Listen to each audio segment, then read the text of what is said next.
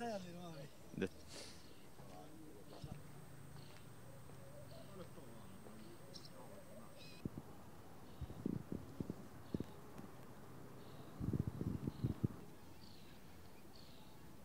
Bugün aynı zamanda 1 Mayıs işçi bayramıdır.